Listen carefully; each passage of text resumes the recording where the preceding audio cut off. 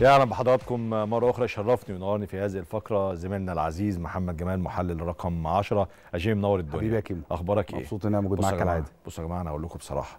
جيمي ما كانش مقدر له إنه يكون ضيف النهارده. كلمته قلت له لازم تبقى موجود النهارده. ولازم يبقى موجود النهارده عشان ياخد حقه. الراجل ده كان معايا من أسبوع وقال نصا كده. قال لي صفقة وسام أبو علي اللاعب الفلسطيني هيتم حسمها بشكل رسمي يوم 8 يناير. وقد كان. أنا ما أظنش. أنا دايما ما بدعيش إن إحنا ننفرد وأخبار حصرية. ما بحبش الجمل دي دا- دايما يعني. كل الناس بتجتهد كل الناس بتشتغل. بس هو أكتر واحد قال القول الفاصل في هذه الصفقة فكان لازم ياخد حقه وهو موجود على الهوا بصراحة يعني. حبيبي يا كيمو أشكرك طبعا وده شغل ال- البرنامج كله شغل الناس يعني حبيبي. مش مش شغلنا. حبيبي. و... وفي أنا عايز الآخر أثبت- أنا عايز بنحاول. أنا عايز أثبت كلامي معلش. أنت لسه هتقول كلام حلو بس أنت أنا عايز أثبت كلامي. شوفوا. جيمي قال إيه ونرجع نسمع جيمي بقى تفصيلا عن اللاعب. خليكم معانا. ليه الدنيا وقفت دلوقتي؟ بسبب الأعياد. آه. والراجل قال لي إحنا جوناثان ادرستروم قال لي مش هنشوف أي حاجة ولا هناخد أي قرار ولا هنتكلم في أي حاجة إلا يوم إلا يوم 8 يناير. 8 يناير بعد نهاية الأعياد 8 يناير. فما فيش أي حاجة من هنا لحد 8 يناير فيما يخص النادي. تعال نروح للاعب بقى وسام أبو علي. وعلى مسؤوليته وسام أبو علي وسام أبو علي. موقع موقع. عقود انتقاله للنادي الأهلي الكترونيا من 10 أيام. لا ما تهزرش. موقع عقود انتقال النادي الأهلي لمدة أربع سنوات ونصف الكترونيا.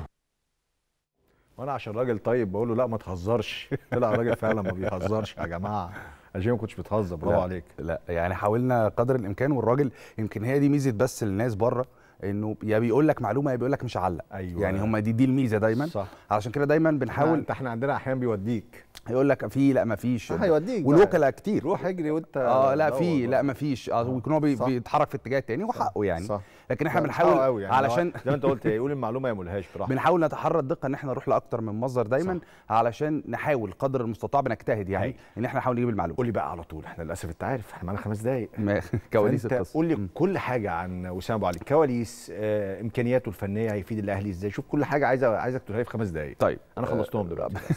اتفضل.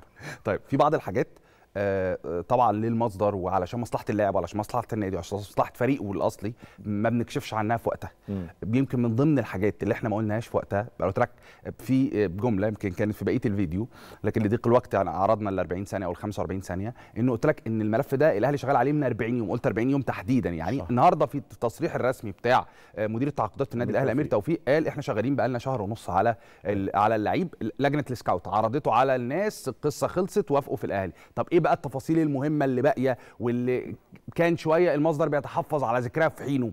رقم واحد اللعيب ما كانش عنده باسبور فلسطيني. أيوه. اللعيب خلص الباسبور الفلسطيني ده اللعيب خلص يوم 12 ديسمبر. بعدين كل ده الراجل خلص الباسبور الفلسطيني عشان يوقع في النادي الأهلي. فكانت رغبة اللاعب الشديدة إن هو يوقع في النادي الأهلي. وفي ظل الأحداث اللي معلش هي معلومة مسلم بيها عشان الناس ع- م- معظم الناس عارفاها بس في ناس برضو مش عارفاها. ليه لازم الباسبور الفلسطيني؟ علشان يعامل كلاعب مصري علشان الأهلي عنده عدد أجانب مكتمل. فلازم يجيب لعيب فلسطيني يعامل معاملة اللعيب المصري. صحيح. فهو لعيب فلسطيني دنماركي لكن كان معاه باسبور دنماركي بس. الأهلي بعدها بأسبوع يوم 20 تقريبا كنا إحنا موجودين هنا في نهاية شهر ديسمبر يا كريم قلت لك من 10 أيام موقع. بعدها بأسبوع اللعيب وقع على عقود انتقاله للنادي الأهلي قبل حتى ما يتم الحسم. بعدين دخلوا في مفاوضات كتير جدا مع آه، آه، مع فريقه والقصة راحت جاية وفضلت الأرقام.